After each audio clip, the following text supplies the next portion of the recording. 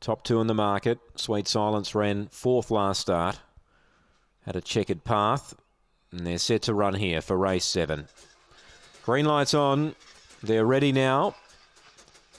Set racing. Sweet Silence stepped uh, fairly well. He's push. He's pushing on and she'll get over. Junior's up to second, a length and a half away. Four to Imperial Master.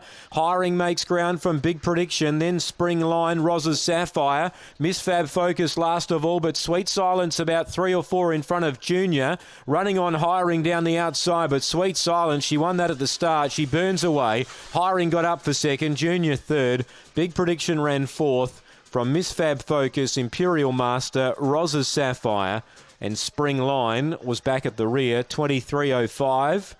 Sweet Silence, too good.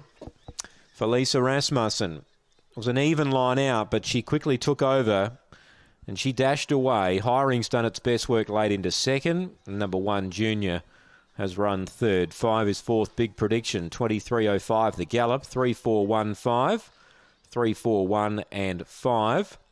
Run home in 14.37. 3415 after race 7 Gawler.